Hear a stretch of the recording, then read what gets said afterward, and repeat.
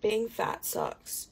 Being fat fucking sucks. Well, parts of it do, for sure. You know what's worse, though? Hating who you are because of how you look. Hi, I'm Adam, and I've been helping people lose weight and escape toxic diet culture for nearly 10 years. Y'all tagged me in this video dozens of times, so let's talk about it. Putting aside the fact that I feel disgusting and ugly, I am the heaviest I've ever been, and it's starting to really affect my health. I can't even walk upstairs anymore without feeling tired and out of breath. And it's so, so embarrassing. I think there are three main components of the fat experience. Number one, confidence and aesthetics. Number two, health, physical and mental. And number three, quality of life. And I think ultimately where you're at in one or all of these areas really determines whether or not you're happy in that body. I feel like I constantly talk about, you know, like loving your body and being confident in who you are. But I just feel so ugly. As someone who spent 25 years in a larger body, I get it. A lifetime of hating your body is a heavy burden, and it's not easy to learn to speak kindly to yourself and to nerf those critical thoughts. Emotionally, I feel like I've really disappointed myself. Like I've really let myself down. I'm sick of feeling like this. That's tough. And I don't know how you got here, what happened along the way, and I don't know if you're disappointed in the choices you've made or just the fact that you're at where you're at, but I do know you can't change the past. So, where do you go from here? What can you start to do to make yourself proud again? I just. I just want someone to find me attractive.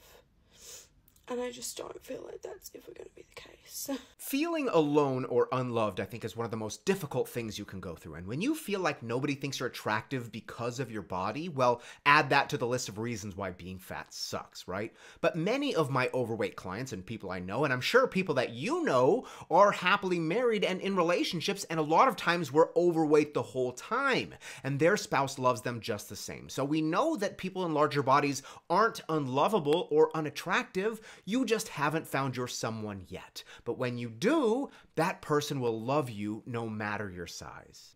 I've never been able to successfully stick to a diet. I feel like they last a few days and then I get depressed and I binge eat and I'm so, so sick and tired of repeating the cycle of starving myself for a few days and then binging on a shit ton of food and then just like the cycle happens again and again and again. I want to assure you, you did not fail those diets. They failed you. Weight Watchers only wants long term results if that means you've used their point system for 30 years. The keto diet exists to sell you keto products at the grocery store. Juice cleanses want you to keep buying their juices. These quick fix programs and promises are only there to prey on you, the desperate, and squeeze you for every dollar you've got because they know you'll pay it. Check out the comment section. I promise. These diets have failed everybody. Just looking for a bit of support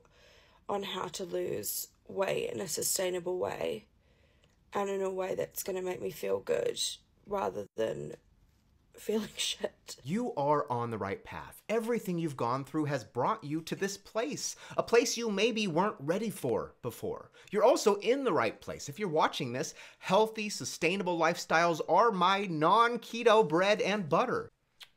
I do coach clients one on one. You can apply for that if you want, but even if all you're doing is watching my content and learning, you can do things differently this time.